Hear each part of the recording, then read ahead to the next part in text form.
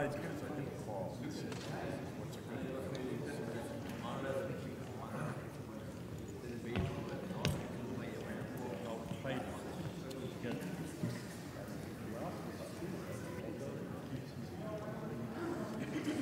suddenly worried about you. I was looking for you. There it goes. Uh, what- What I plan to do is, I mean, know these people. You don't either. Um, What I plan to do is talk just a little bit about my experience uh, in terms of language. and then speak about Well, good evening, everyone. Um, we're going to be getting started in just a moment. I'd like to just take a moment to say thank you. Thank you. Thank you for being here this evening. I'm sure you'll go away with many insights and wonderful thoughts that you'll utilize in your lives of faith. So, as we begin this evening, let's take a moment to pray. I'd like to invite Mary Weisensell forward to offer our prayer this evening.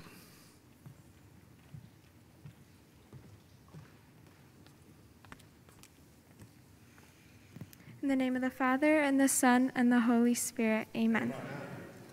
Lord God, we thank you for this opportunity to gather together this evening and learn about the Catholic social justice teachings.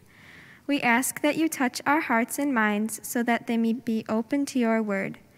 Help us to always remember that we are your body on earth. Help us to see you in everyone we interact with, and help us to remember that they are all your sons and daughters. May this presentation tonight help us all to become more aware of our role in serving others and spreading your love to all those we meet.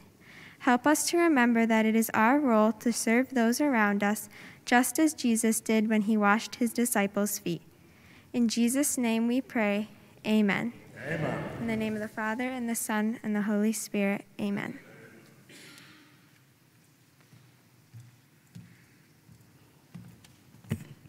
And thank you, Mary. Um, this evening we have with us two um, speakers who will be sharing with us their thoughts and understandings and learnings of social justice in the Catholic Church. Uh, one of them is Rob Shelledy from the Archdiocese. Glad to have you here, Rob. Nice to have you. Thank you for being here. The other is um, Bishop Richard Sklba, native son of Racine. Woohoo!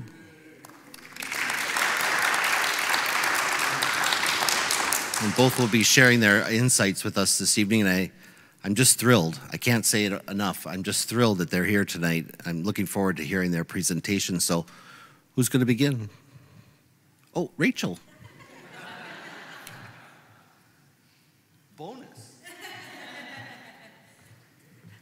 Uh, good evening. I'm Rachel Cruz. I'm the Director of Religious Ed and um, the Human Concerns. On behalf of St. Rita's Human Concerns Commission, we thank you all for joining us as we begin to explore an important mission in our church Catholic social teaching.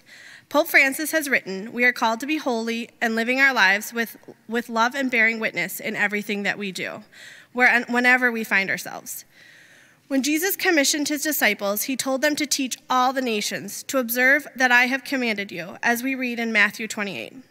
Although Jesus had several commandments, one appropriate way to sum them all up is sum them all up is love God and love one another. Our love for God is simply a recognition of God's love first.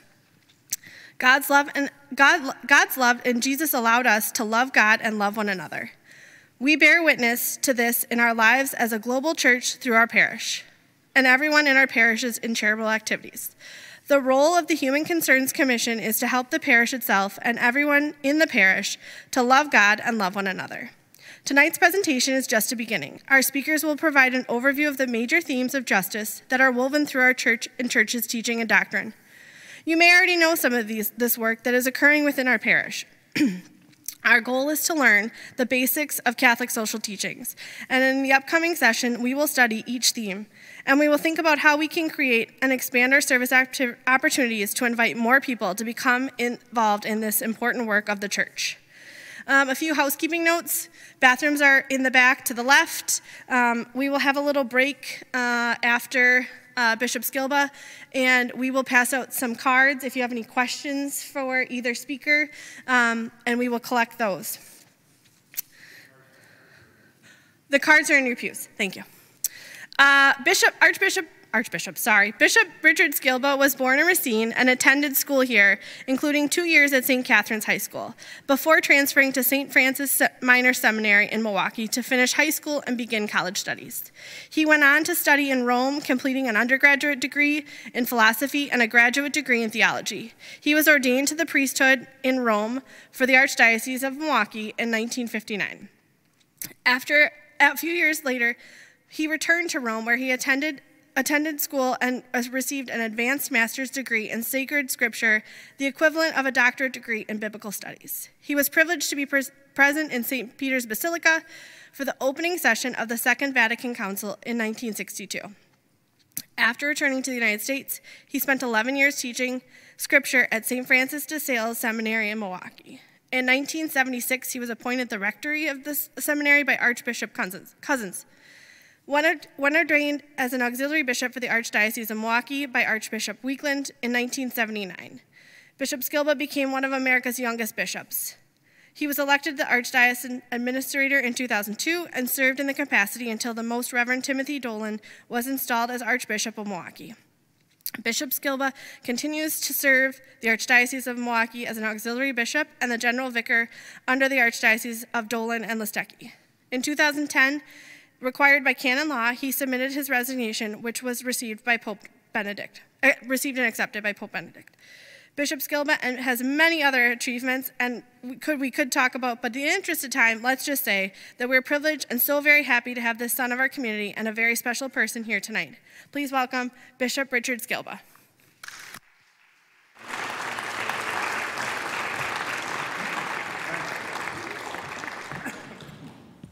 Just a quick note, the, the cards are at the ends of the pews there, and we have them there so that during the talk, if you think of a question, write it down then, and I'll collect them after uh, each speaker. So we'll do, when Bishop Sklba is done, I can come around and collect any questions you may have formulated during his talk.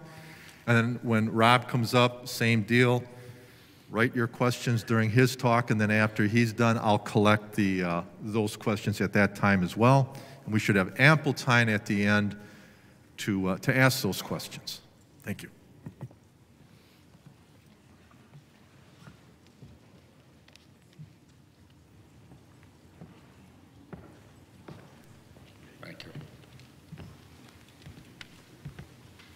Well, thanks very much, folks. Delighted to come to the north side of the city of, of Racine, being uh, you know, a poor south sider, never got this north over the many years.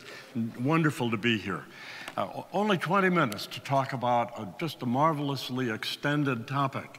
So I'm going to move along as quickly as I can, but to speak a little bit about my own initial introduction to the whole mystery and wonderful world of the Hebrew Scriptures. Um, I was asked by Archbishop Cousins to begin preparing to teach Scripture. Initially, I was a little frightened about the whole prospect, and, and because I had such terrible Scripture teachers. I mean, they were really bad. and I suddenly discovered it was exactly where God wanted to be. It's one of those mysteries in life that are surprising. I hope that you've had those same experiences yourself somewhere along the line. You say, This isn't what I thought it would be. It's much more wonderful. Anyway, uh, ended up uh, at the opening session of Second Vatican Council, taking the oath administered by Pope, St. Pope John the 23rd to be faithful to the teachings of the council, whatever they would be. Now, when you think about that, in 1962 that should have been a bit unsettling. But it was a wonderful entrance to something new and very much unexpected. Well, anyway, I started studying Scripture in a new and more serious way. I realized very quickly that if Old Testament or First Testament, which is what I prefer to say, if First Testament is going to be the focus of my life, then it has to be more than just looking at a text and, and paging through a dictionary and then looking at a text and paging through a dictionary. This had to be a language that became part of my existence. And so, you know, with a certain adventuresome quality that younger people have, and I certainly had it at that point in my life, I went to a school in Jerusalem called the Ulpan Etzion and it was for new immigrants to Israel who needed to learn the language as quickly as possible so they could get jobs and fit into society. So, for two months, wonderful experience uh, with immigrants. I was in a gray cassock. My Israeli young woman teacher was frightened to be a, suddenly a priest in her classroom. She was always frightened to preach, she told me. We became good friends. But six days a week, four hours a day, she only spoke Hebrew. And so it was a quick learning experience for me, but suddenly the language came alive in a new way. And I was introduced to the Hebrew scriptures in a way that had never been possible for me before. Then, after I returned, I decided that I needed to know something else about this reality. And so I was part of two archaeological expeditions in Israel, uh, a month each time, digging into the past and trying to understand the past and the way in which the people of Israel lived in the past, with, um, you know, going to the tells where cities have been built and destroyed and built again and then destroyed and then built again so they were they were hills. Uh, and we discovered over a period of time that the best homes were always on the west side of the hill because that's when the breeze, where the breeze from the Mediterranean came in in the evening and cooled things down. So there were wonderful homes we discovered when you start digging down, scratching away, three eighths of an inch at a time to discover where the home was and how it was how it was arranged and all of that. All of that is back is background for what I want to say tonight. In the process of coming to to fall in love with the scriptures as real languages of expression of faith and evidence of people's lives, I no longer want to say Old versus New Testament. I want to say the First Testament and the Second Testament because I understand that Jesus was a Pharisee. I understand that Jesus was one of the people in the first century who were very active Jewish people. And the Pharisees were special because they believed that it wasn't just the law written down somewhere, the Ten Commandments and the prophets, etc. It wasn't just the sacrifice in the temple. I mean, this is a holy place, and I recognize that, and I'm conscious of it, as are you. But that meals with families were also very sacred people. That's something that marks the Pharisees, that meals, family meals, were important that they were holy places. And, and so Jesus in the Gospels is often described as having conversations with people at dinner, invited to be a guest at dinner, sometimes complaining about the way in which he was treated by the host because he wasn't offered uh, the proper, the, the, the, the courtesies that were offered to people when they were guests uh, coming in off the dusty streets, things like that. But he was a Pharisee, and, and he was a person of the Jewish people. He was Jewish thoroughly, and his disciples were Jewish, and only in the, in the middle of the first century did they open the community to non Jewish members so that all of us who happen to be Gentiles, as I look around, most of us probably are, we're all invited in to this community, originally Jewish, that has in itself the seeds of universality. So wh- where do I go to talk about this, to set the basis for the Catholic social teaching? Well, I go to scriptures. That's my first love, that's where my roots are in so many unexpected ways. I go to the covenant. The covenant in Exodus is described as, an, as well, I, I like to go to Exodus 20 to 24, and I go to 24 specifically. I brought a book along. I'm not going to read it. The, the, uh, the, the time frame is short tonight. The ritual for the beginning of the covenant is in Exodus 24. And what happened on Mount Sinai, Moses dictating how the people should enter into this covenant with God having a sacrifice, and then sprinkling the blood of the covenant on the altar, which would be here behind me, and the people. The significance of that was life was in the blood. That's how they understood it. That's how they experienced it. If somebody was injured and was seriously injured, and the blood was gradually seeping into the earth, the person was dying. So they understood that life was in the blood.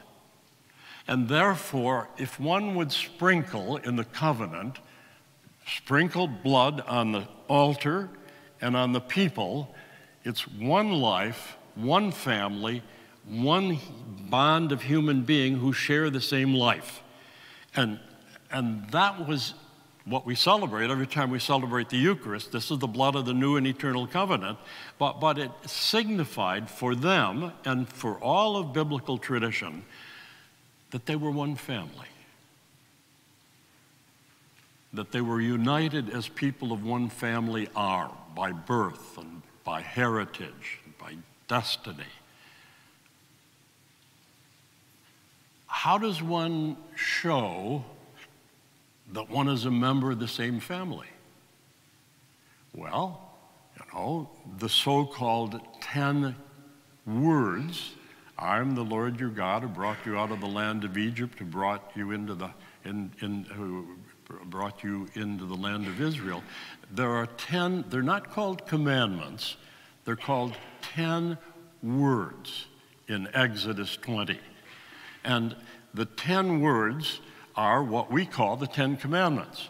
But, but they are, they're, they're, intended, these ten words, ten commandments, they're intended not to be in a courthouse. Every once in a while, there's a movement in the country to put the Ten Commandments in a courthouse, somewhere where, where cases are held and judge, justice distributed. Uh, but a courthouse is to adjudicate guilt and responsibility. Whereas the 10 words, the 10 commandments, are intended not to resolve issues, but to open them up so that thou shalt honor thy parents. Or what does it mean to honor one's parents? That, that you know, suggests conversation. What does it mean to respect life? What does it mean to respect family, marriage.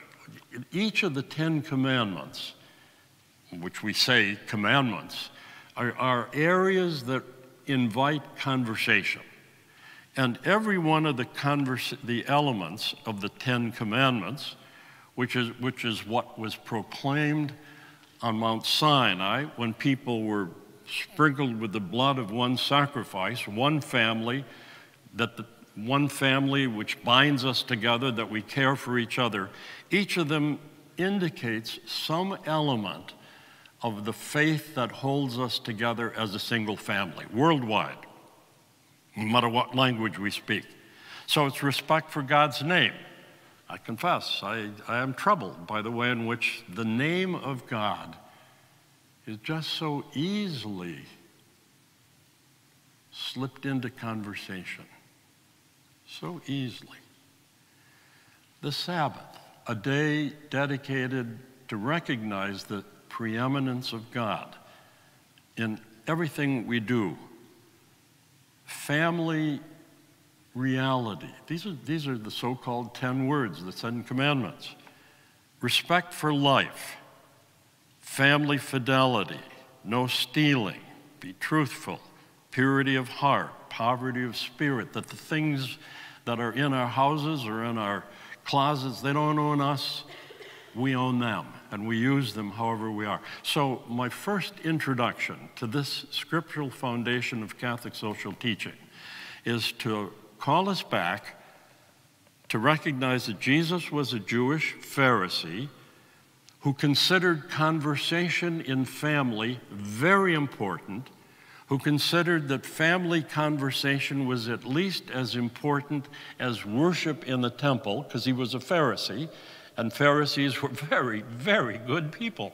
They got a bad name in early Christianity because of, because of the, the early split between those Jewish folks who decided they would rebel against Roman authority and the Jewish Christians who said, We don't think that's a good idea at this point in history. We really don't think that's a good idea. Revolution, we don't think that's a good idea.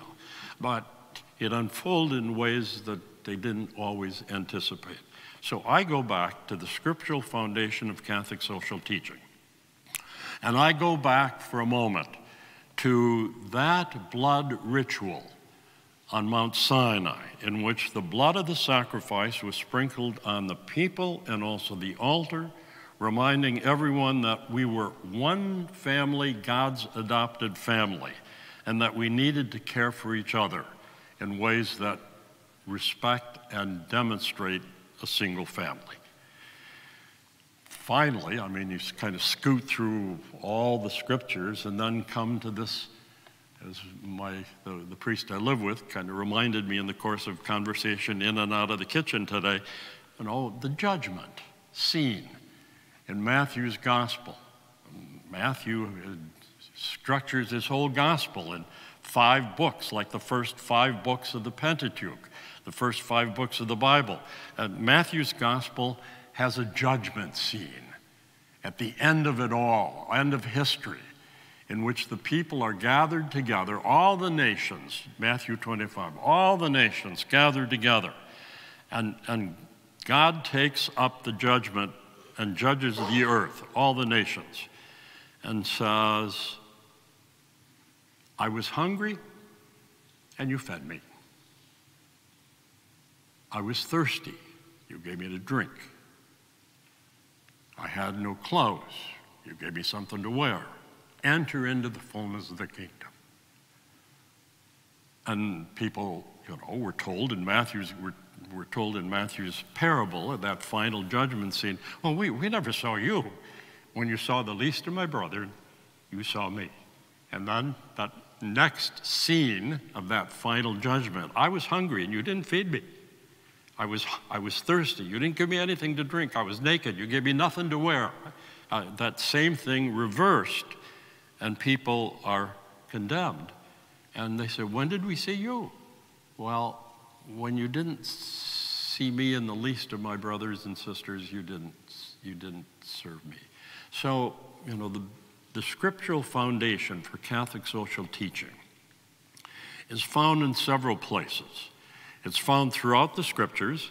It's found in the way in which the covenant in Israel on Mount Sinai was introduced by, by a ritual which created one family, one human family among all the Jewish people, and then was opened up to non Jewish, Gentile people, like most of us, so that we became part of the Christian community into which all are invited and all are judged by the way in which we treat each other as members of one family or not.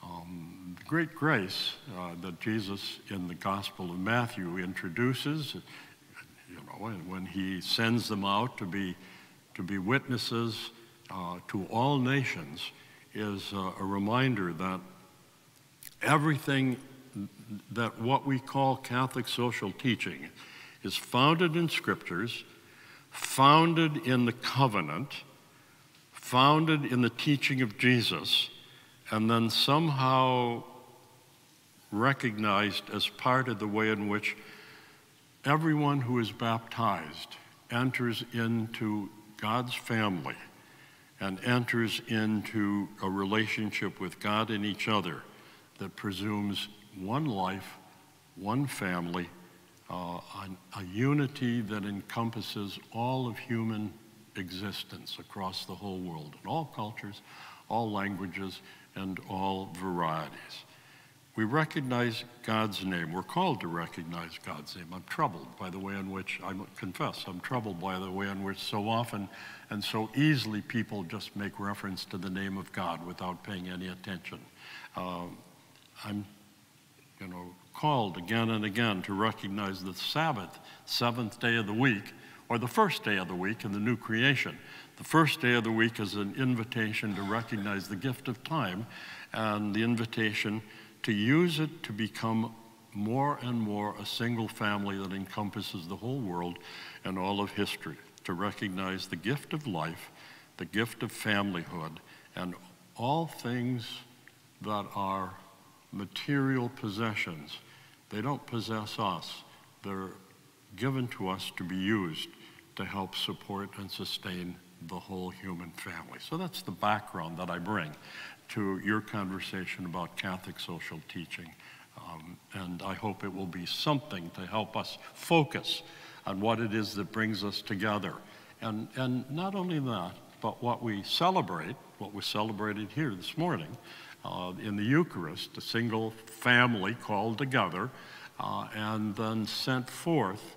Uh, you know, I, I like to point out the fact that we when we enter the church on a Sunday morning or any morning, we take some holy water and kind of splash it over ourselves and uh, recognize that because of baptism, we're invited into this group of people. But also on the way out the door, we do the same thing.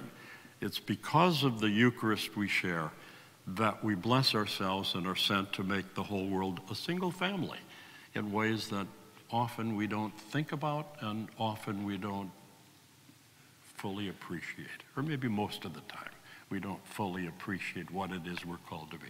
So, you know, I have all kinds of things I've thought about in the course of the last couple of weeks, but that's what I want to say by way of introduction to the, the series that brings us together. Uh, tonight, Scriptural Foundations for Catholic Social Teaching. Uh, thanks very much, everybody.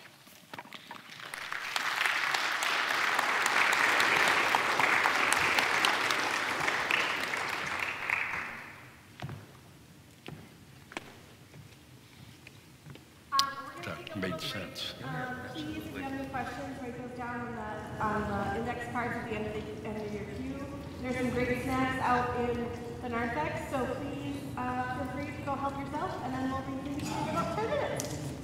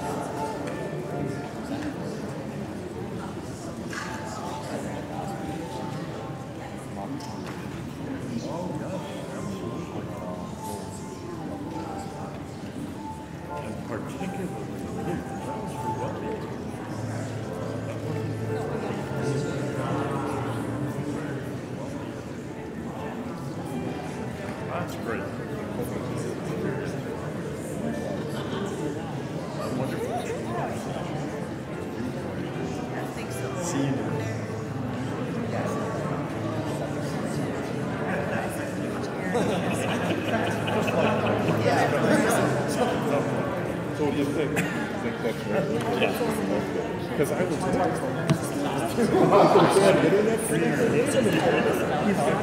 do you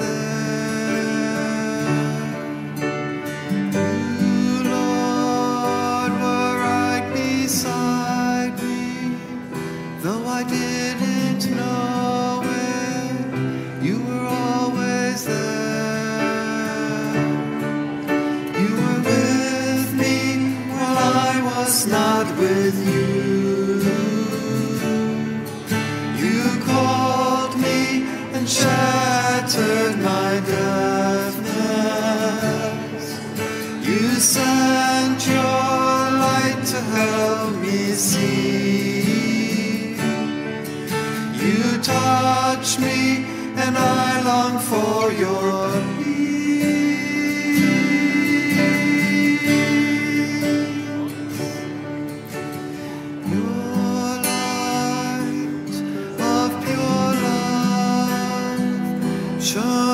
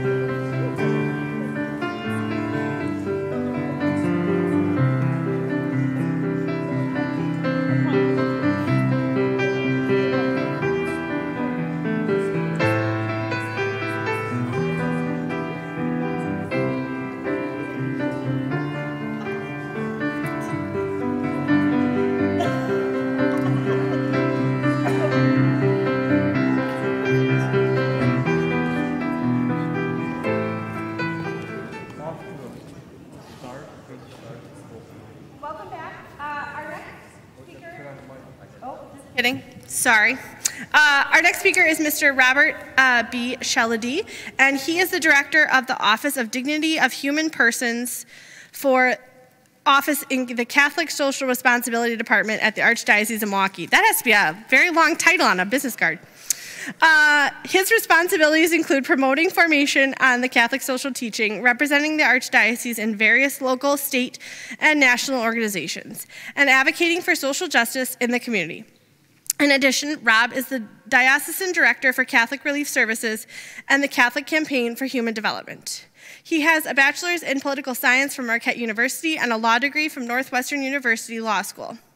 He practiced, he practiced law in Milwaukee until 1996. Leaving the practice, he earned a PhD in political science from Wisconsin, writing his dissertation on the role of the Vatican in global politics. politics. He taught political science at Marquette in 2003 and 2004 before joining the Archdiocese in the fall of 2004. He and his wife Teresa live in Wauwatosa and are members of St. Sebastian Parish in Milwaukee, and they have three adult children and one grandchild. Please welcome Mr. Shelledy.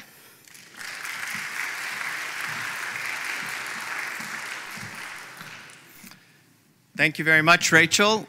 Um, I'm gonna, I'm not used to needing a mic. I have a very, um, I'm a lector at our parish. Well, I'm not really a lector at our parish uh, because of the, the pandemic.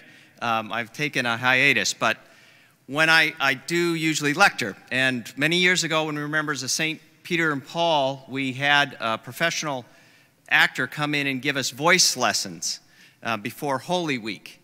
And um, I went home afterwards and I told my wife, Teresa, I'm like, you know, the, the, the woman said that I had a very caring voice.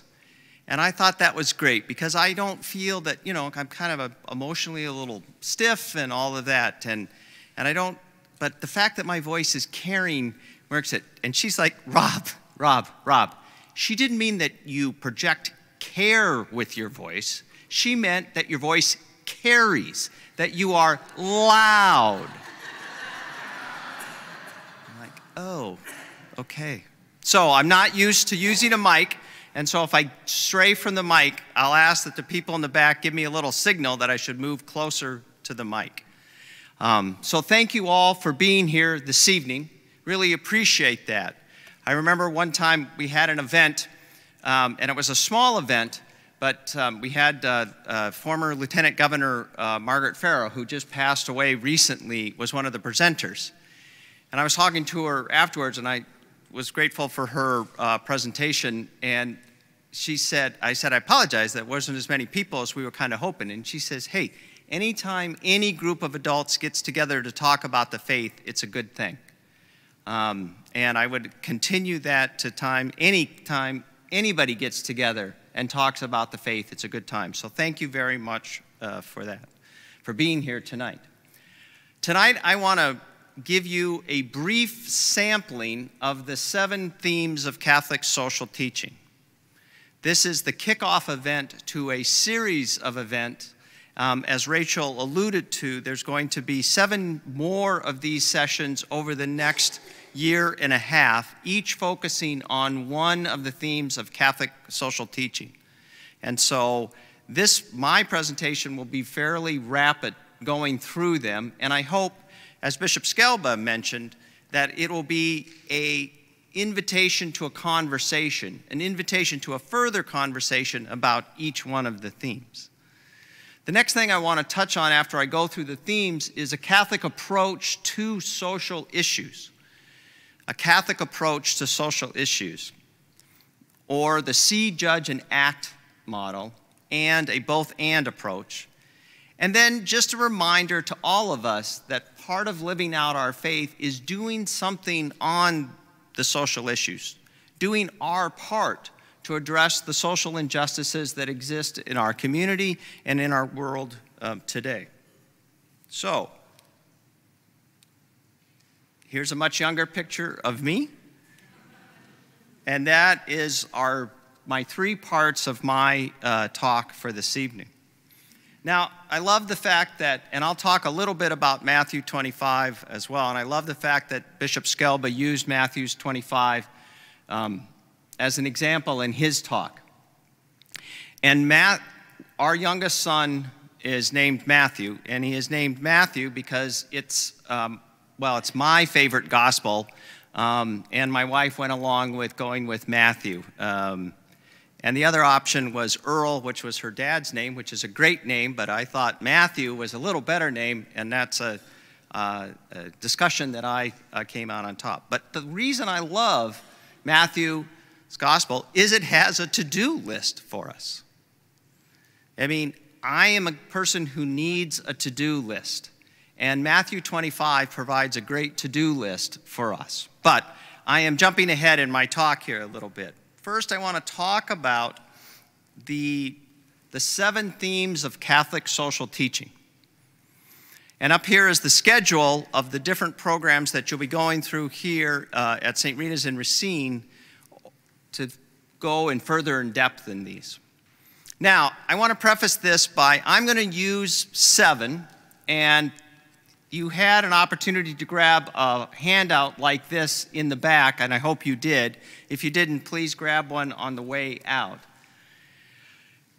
There's no magic number in terms of the principles of Catholic social teaching. You'll see it presented in several different ways. For example, the Compendium on Catholic Social Teaching talks about five pillars or five principles. Um, Catholic, so, Catholic Relief Services had guiding, 10 guiding principles of Catholic social teaching that informs their ministry throughout the world. Um, these seven themes that we're going to talk about a little bit tonight and are going to be the focus of the group is the framework that the U.S. Conference of Catholic Bishops has used over the last several years to help, again, start that conversation about Catholic social teaching. Like all aspects of our faith, it's something that needs to be studied and prayed about and lived out over a lifetime to totally, to really participate, to authentically participate in our life. And it will change as we get older. And depending on where we are in our lives, what positions we hold in our communities, what roles that we play, our responsibilities under Catholic social teaching will also change.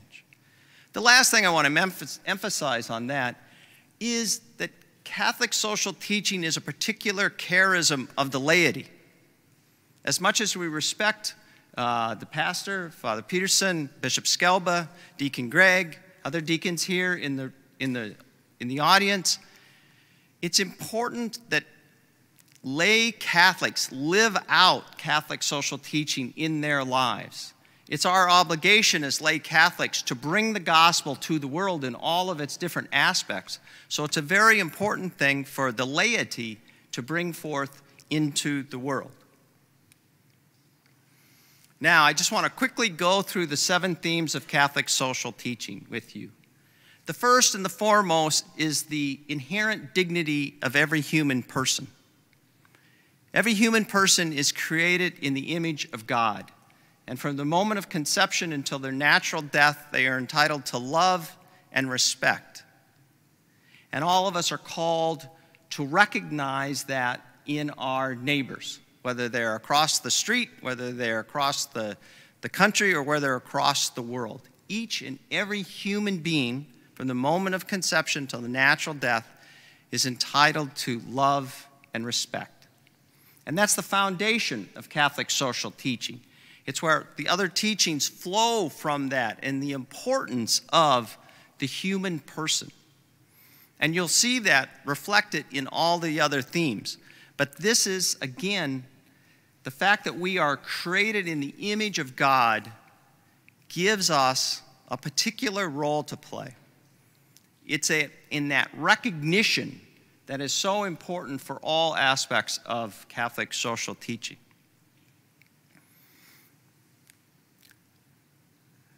The next theme is, oh, sorry, is the call to family, community, and participation. One of the things that the church teaches is that all human beings are social. Bishop Sklba talked about how people are called into relationship in the covenant, how they are the recognizing that they are one family, one community, sharing these various aspects of their lives as human beings, we live out our lives in our relationships. We have a relationship with God, we have a relationship with each other, and we find our greatest fulfillment in those relationships. We are social beings. We are called to community. We are called to family. We are called to participation. And so it is in those relationships that we see where things can go awry. When those relationships are incorrect, they are out of sync, that's when sin enters into our lives and into our societies. When people are excluded, that is a problem. That's why the church is such an adamant opposition to racism. That's why the church is so supportive of the family because it is so important in our lives that we have strong families. And when families struggle, then our society struggles. And so it's important that we all live out these relationships and have the opportunity to live out uh, these relationships. There's a term that you'll hear in Catholic social teaching called the common good.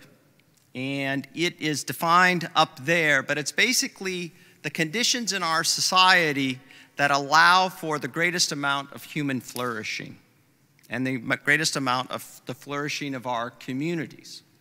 And it consists of three things a respect for the human person, a, uh, the social development and well being of the group, and peace. And if a society has those three things in it, it will be a society that functions well. And if any of those things don't exist in a society, it is a function that will, it's a, it will be dysfunctional. There'll be problems in that society. And so all of us are called to serve the common good. Because this, if the common good is served, it allows all of us to flourish to our greatest God given potential. The third theme of Catholic social teaching is what's known as rights and responsibilities. And this, this one sometimes challenges us as Americans because we have a good sense of human rights in our society. The United States has a strong tradition of respecting human rights, and we can go back into our Bill of Rights, which was one of the most earliest recognitions of the inherent rights that people have. All human beings, because they are made in the image of God, have certain rights. They're not granted by the state, they are inherent in who we are as people is we have certain rights to that. The first one is the right to life, but then it's also the right to the things that are necessary for a decent human existence. So the right to food, the right to education, the right to shelter, the right to health care, uh, the right to work. Corresponding with these rights are responsibilities. As uh, Pope John 23rd wrote in one of his encyclicals, each human being has inherent rights, but they come with inherent responsibilities. So, for example, you have the right to an education, but you have the responsibility to study hard and to work and to develop yourself for that. You have the right to health care, but you have a responsibility to take care of yourself to exercise, to eat right, not to indulge in smoking or uh, alcohol to too great of an extent. Um, we have these responsibilities that go with it. And it's the responsibility part that we often stumble with as Americans because we're used to thinking about the rights that we have as American citizens, but we often don't think about responsibilities. There's not a bill of responsibilities in the U.S. Constitution. And so it's important for Catholics when we think about this idea of rights and responsibilities, we make sure that we emphasize both aspects of that. That we have, yes, we have rights, but we also have responsibilities that we need to follow through on. The fourth theme of Catholic social teaching is the option for the poor and the vulnerable. God loves each and every one of us. Every single one of us. However, God loves the poor and the vulnerable even more. And if you go back into Scripture, you talk about God's love for widows and orphans, that God protects widows and orphans. And uh, I'm going to still call it, I'll try to call it the First Testament, but I'll slip and call it the Old Testament quite a bit. But in the First Testament, you see that often. And the reason for that is because widows and orphans were the most vulnerable people in those societies. I mean, there, the, a woman didn't have a husband or a father was extremely vulnerable. And in the same way of orphans. And so God looked out for orphans and widows. And in the same way, we bring that into our world today. We need to think about how what we do, what our policies affect not only ourselves and our families, but the most vulnerable people in our society.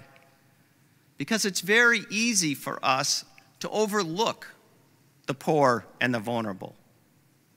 And the poor and the vulnerable certainly don't have people that go into uh, political offices and lobby on their behalf the way that people with more means can afford or a corporation. A good friend of ours is the vice president of public affairs for Marquette University. She's a very talented woman um, and is definitely somebody that you want on your side. She is tenacious in what she pursues. And she is the chief lobbyist for Marquette University. And she does an excellent job lobbying for Marquette University. And but the people, the poorest people in our society don't have somebody like that unless it's going to be us speaking on their behalf. Babies in the womb don't have a voice unless we give them. Undocumented immigrants don't have a voice unless we give it to them. Again, thinking about the poor and the vulnerable, the most vulnerable um, in our society is a very important aspect of Catholic social teaching. And this is where we get back to Matthew 25. Here is that to do list that we talked about and that Bishop Sklba referred to. These are the things that we are called to do as Catholics to live out the corporal works of mercy. And you'll notice on that list these people who are supposed to help in a way the hungry, the thirsty, the naked, the homeless. These are people who are vulnerable. And living out the corporal works of mercy is a way that we live out that option for the poor and the vulnerable. And again, it's an example of how Catholic social teaching is rooted in both church tradition but also in Scripture.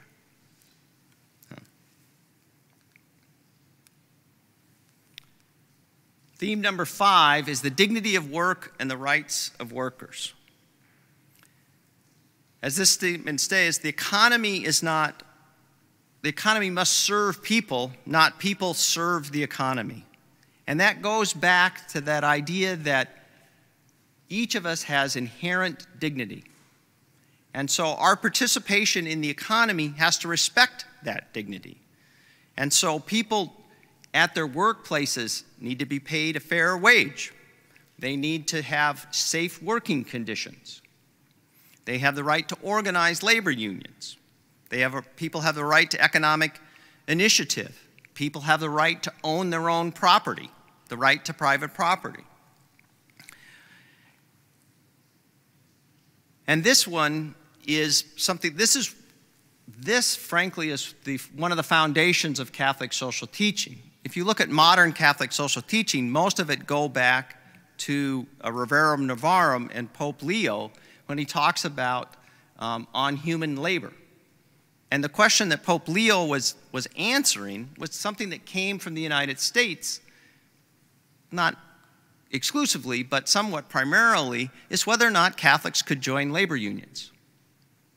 And this was a controversial thing in the late, 19, in the late 18th century, is whether or not Catholics could join labor unions. And what Pope Leo ultimately decided is that absolutely. people have the right to a right to association. They can join labor unions. And so we have a strong tradition in the Catholic social teaching, one that was expressed oftentimes here in Racine in terms of Catholic involvement with labor unions. Um, Father Tom Siriano helps out at uh, um, our parish at St. Sebastian's, where he did before he retired, and he was talking about how his dad was a labor steward um, at his pace of employment. And so there is this strong tradition of support for labor unions in the Catholic teaching. Now, of course, that doesn't mean that labor unions get everything they want. They have responsibilities, they have an obligation to serve the common good in the same way that businesses do. And so, again, it's important for people to live out the dignity of work and the rights of workers.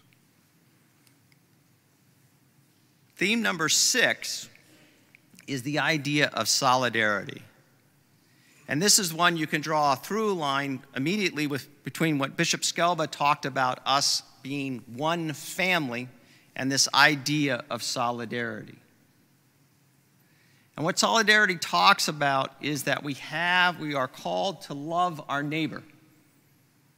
And that call is a universal call. Uh, John Paul II talked about having a feeling, the feeling that we have for our siblings in a healthy relationship with siblings, that love that you have for your sibling, the things that you will do for your sibling, is a love and a feeling that you should have for total strangers. And I remember hearing a talk one time about um, uh, that feeling. And it reminded me of a time that I was um, driving home from Matthew's uh, baseball practice. And there was, um, I was going down a main street in Milwaukee, uh, 76th Street, which is a, a four lane street. And people consider it basically, I mean, even this was 10 years ago. Back then, people considered it basically an interstate then. And so 60 miles an hour uh, was not an uncommon speed um, on 76th Street, unfortunately. Um, but I'm going down 76th Street, and this young man races out in front of us. And he makes it all the way across four lanes, just barely missing our car and a couple of other cars on the way. And I'm like, what? What the heck? Well, then three other young men come racing behind us, chasing him.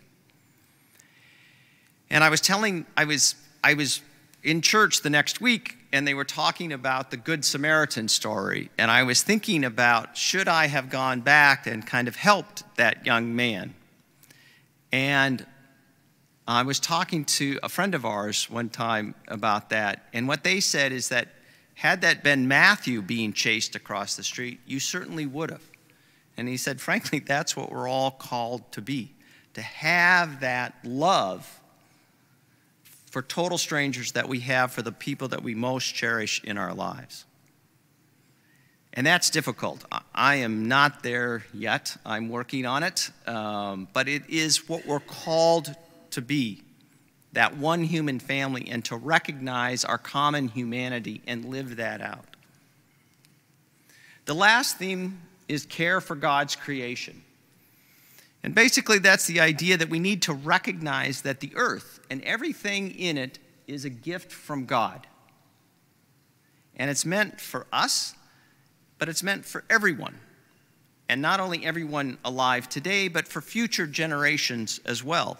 And we need to treat God's creation like a gift in a way that allows us to use it so that we can survive and thrive, but also so that people around the world can survive and thrive, and future generations can survive and thrive, especially the most poor and vulnerable. Now, I hope these seven themes have generated a lot of questions for you a lot of thoughts, probably some controversy, I'm thinking, because we are talking about public events and ideas. And we often disagree about the West best way to proceed on many of the issues that we talk about, whether it's, uh, whether it's immigration or gun control or abortion or the economy or you name it. I mean, we, we argue about these things. We talk about them a lot. We, political, we have political races that are run on them.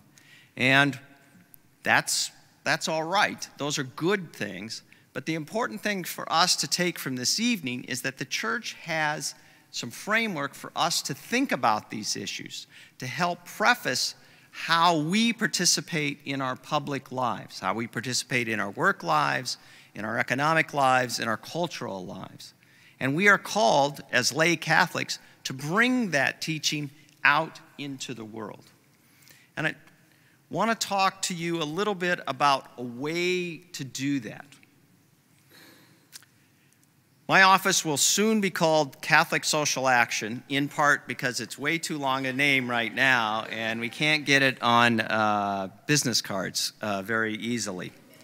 Um, but some of you may remember the Catholic social action movement of the 1920s, 1930s, and the 1940s. It was actually very big down in a, in a larger metropolitan area just south of us, and I'm not referring to Kenosha, although I'm sure it was pretty big in Kenosha um, as well.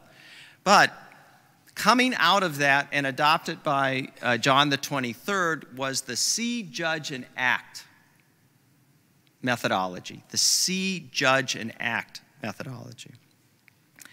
And so, as Bishop Sklba talked about the final judgment in Matthew 25 and the, um, the sheeps and the goats asking that question, when did we see you hungry? When did we see you naked?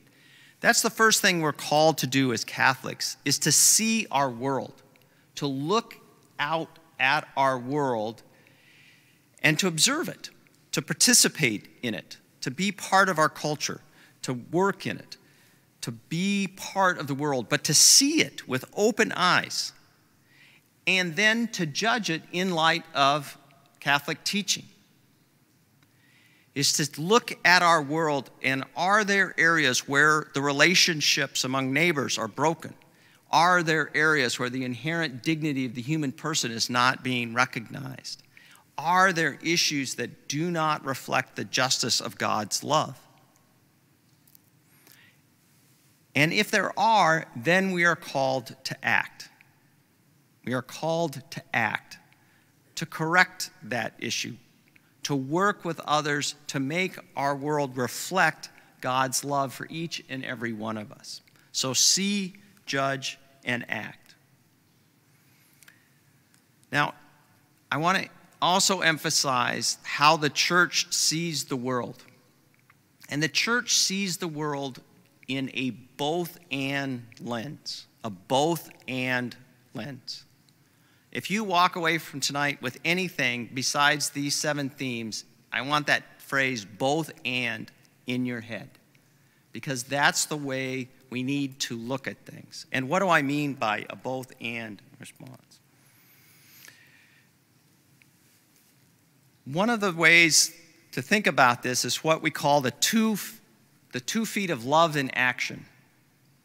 And just as you're much more stable if you're standing on two feet, if any of you are involved in athletics, you have an athletic stance, whether it's basketball or soccer or wrestling, kind of knees bent, feet solidly on the floor, up on the balls of your feet. You're nice and solid. You're on two feet. And what these two feet are in Catholic social teaching is charity and justice.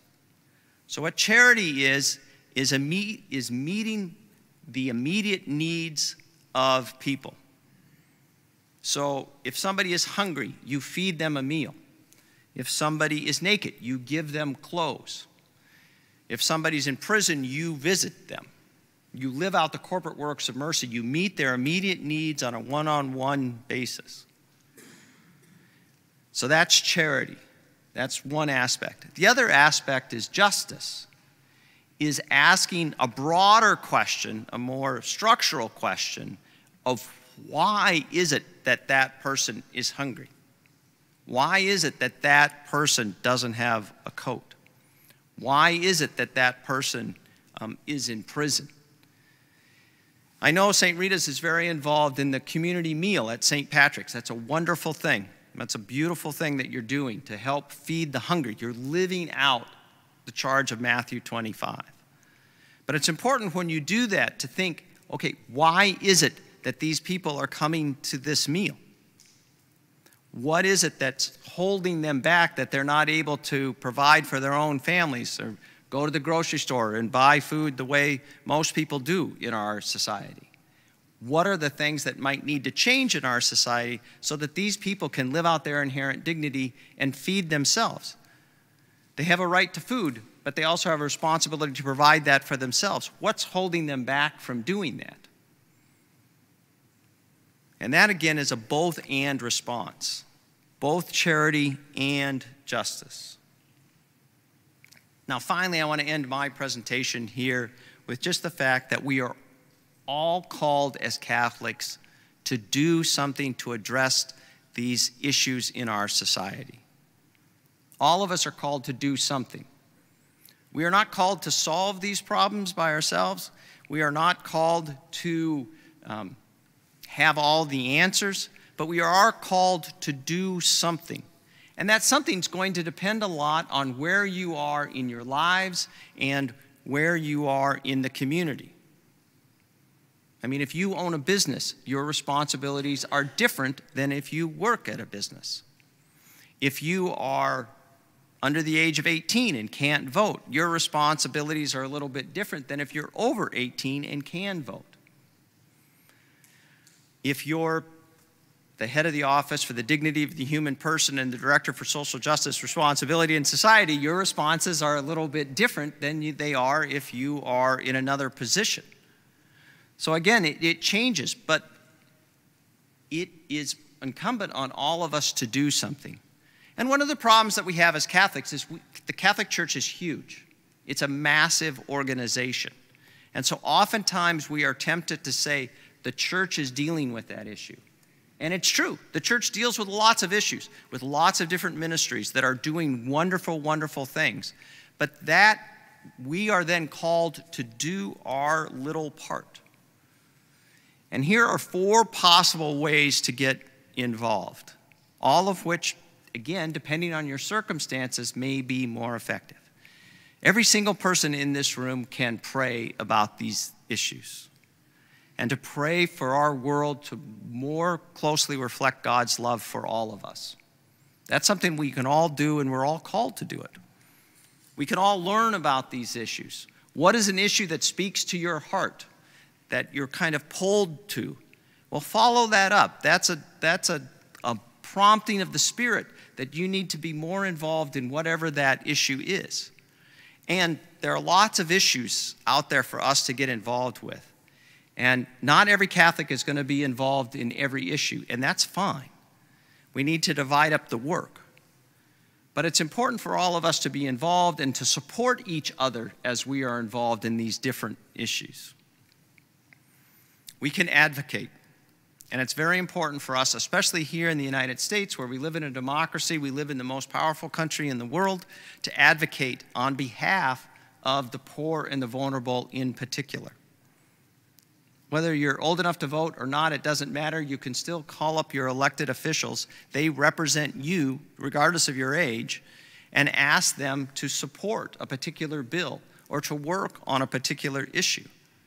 For example, next year in 2023, we're going to um, reauthorize the, the U.S. Farm Bill, which is a very important bill for the rural economy. It's a very important bill for any of us who eat and it's a very important bill because a lot of food and feeding programs are funded through it. And so it's a very important bill to be involved with. And because we live in the Midwest, our elected officials tend to be a lot more influential on agricultural bills than they are on other kind of bills. So it's incumbent on us here in Wisconsin to get involved in that. And finally, the last thing, and have you ever gone to a Catholic thing where you're not asked to give money?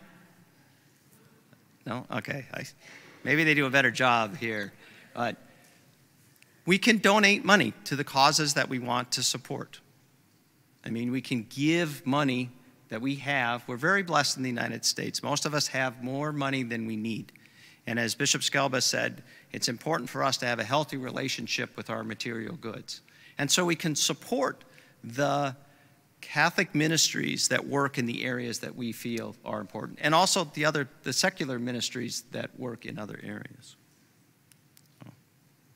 And this is where I just want to talk real briefly about innkeepers. Just like the Good Samaritan had to rely on the innkeeper to help support the, the injured man on the side of the road when he left, we have to rely on innkeepers. And there are lots of great Catholic ministries that help us live out Catholic social teaching. The Society of St. Vincent de Paul, Catholic Charities, Catholic Relief Services. Um, lots of the different religious orders have various ministries here. I know the Augustinians have a great ministry here um, in town. We have the ability to support these ministries that do good work, and so I would call you to do them. So, I'm going to turn it back over to Rachel. Thank you very much for being here this evening. Appreciate that.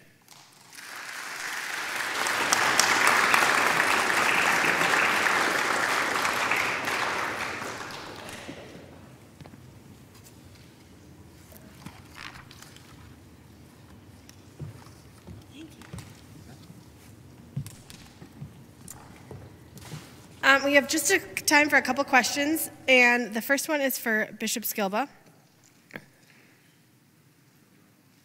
Yes, sorry. I, I wanted to make sure you heard my question. Uh, if Jesus was a Pharisee, why is there so much? I can't read this. And Deacon Greg, sorry, I can't read the, this question. Why is there so much? Oh, animosity between him and of them?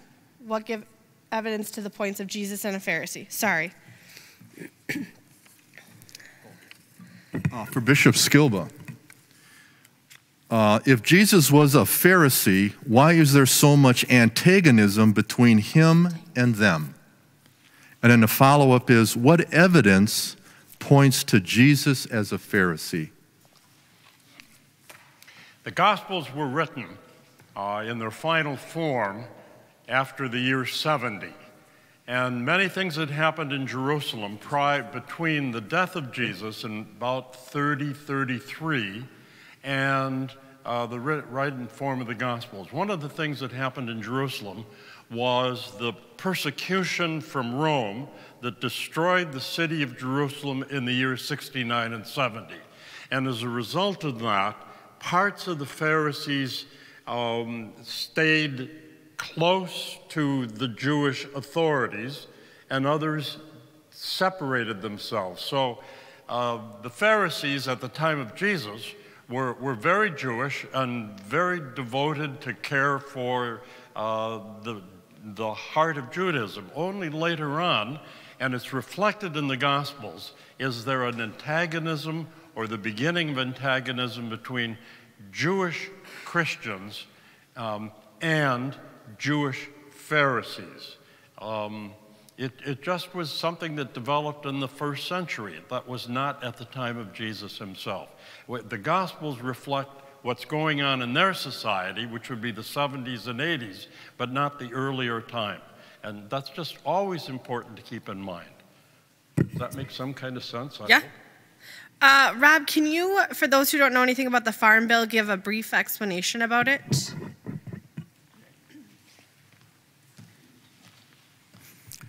So every five years, the U.S. government um, passes what's known as the Farm Bill. And there are two major parts to the Farm Bill. There's the agricultural part of the Farm Bill that talks about crop insurance, uh, crop subsidies, um, those programs. And then the other half of it involves um, uh, food share, or uh, which is the what colloquially known as food stamps.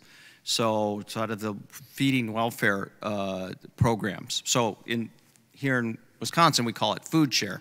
Um, and so every five years, a bill is passed, and then that forms the framework for federal law for the next for the next five years. And so 2023 is the magic fifth year where it comes up. And so that um, the Farm Bill is a very important um, for farm policy, actual growing of crops, livestock, et cetera, domestic food share programs, and there are also many of the international feeding programs like Food for Peace, the Dole McGovern Act is included in the Farm Bill. So, and I'm be around later to talk a little bit more if people have questions about that. So, Thank you. Um, I guess this you each could answer this one. Um, which Catholic social justice justice teaching do you think is the most important for teenagers to remember in their daily lives? So if you could each pick one, which do you think would be? so I'll take that one. I don't, I don't, I couldn't hear her. Oh, sorry. Which Catholic social justice teaching do you think is important for the teenagers to remember? Oh, sorry. Rob, you want to take it? Go ahead. Um, all of them. what I would say, what I would say seriously on that, is that um, it is important that you understand all of them and that you look at them. But I also think about all of us have different gifts and talents, and to think about the thing that is calling to you in terms of where you want to use your gifts and talents. Because again, it's important for us to, again, listen to those promptings of the Spirit to get involved in kind of where we're called to be involved with. Um, and then, Bishop Sklba, you want Well, to talk about? In light of the question, as I came to understand it, I thought about my own experience in early years when I was at St. Catherine's. Um, so that goes back a few years. But I initially uh, signed up because I wanted, as a freshman in high school, I wanted to be a debater. And so I signed up to debate. Well, they said I wasn't a good debater. And so they turned me down for debating. But they sent me to the student newspaper. And they said maybe I could work at the student newspaper. Well, I walked on the door at St. Catherine's, knocked on the door, said, I'm here, I'd like to help. They said, You would probably be good getting ads for the Shield. And so I went to Miller Flowers, I went to the banks, I got ads for the Shield. They recognized that each one of us has our own gifts. And, uh, and as, as we know from our own experience, or looking back at our lives and how people, what people have asked us to do, because they perceived we were good at doing that that they asked us to do, uh, we found ourselves going in certain directions in life. That comes to mind because of that question. I wanted uh, to be a debater. Well, they said I wasn't good at debating, but I was good at talking to people into making ads in the Shield. Well, what they say we're good at, that's what we do because that's what we're asked to do. Uh, last question. Rob, political, not partisan. What happens when they support an abortion bill or another issue that is not in line with the Catholic faith? There aren't many. So, one of the things that we are called to be is involved in politics. And it's important for us to be involved in politics. But when we get involved as, as the church, it's important for us not to be partisan. And part of the reason for that is just a practical one is that it diminishes our witness if we are partisan. So, if we go into different political offices with Catholic social teaching, we're going to have a very friendly conversation with them about some of these issues and a little more contentious conversation with them about others. And it's important that we have both of those conversations with them about that, in that we sort of pat them on the back when they're supportive of our issues, but also challenge them when they're not supportive of our issues. Now, in terms of voting, we are all called, those of us who are old enough to vote, have a political responsibility to vote. And we are called to vote with a well formed conscience. And so we are, just like we do on all public issues, we're supposed to see, judge, and act. And that means looking at the issues, judging them in light of Catholic social teaching, and acting accordingly. Now, the other thing that I would say in terms of the laity, it's very hard to be involved politically unless you are um, a partisan. I mean, they, if you're going to run for public office, chances are you have to run in a political party. And so there are, and that, that's fine, that's the way our system works. But it's important that people are Catholics first and Republicans and Democrats second. But when the church is involved in a political action, it's very important for us to be involved in politics, but as a church, not to be partisan. Uh, we just have a couple of thank yous uh, to go through. Obviously, we thank you, uh, Bishop Sklba and Rob Shelledy, for being here. Um, we have mass intentions for each of you. Father Michael, thank you for your support. Chuck Janzer, who is our technology whiz, and without this, many, many people would be lost without his technology expertise. Karen Toonstra, who does our bulletin, um, and Kathy Manchester and Suzanne Cruz for the parish staff and all office support and communication. Members of the Human Concerns Commission and all their work in making this event happen. Um, Rob had said that we have a few on the books coming up, um, different talks. And so our next one will be November 6th um, of 2022 of Life and Dignity of the Human Person. And the reason why they're so spread out is um, we wanted to incorporate our Village Ed program. And so um, that's why they're spread out is I could only give up so many classes um, for these important talks. So yes, our students will be here for. Um, so that's all I have. Bishop Sklba is doing our closing prayer. Um, thank you all for coming.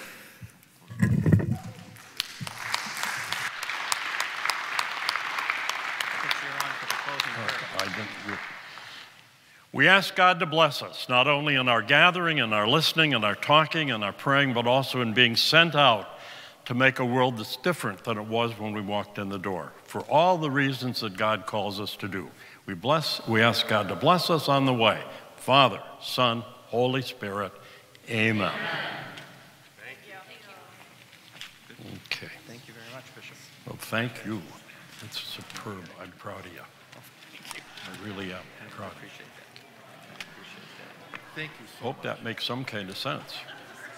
We better turn this off here, And, otherwise. Well, I, no secrets.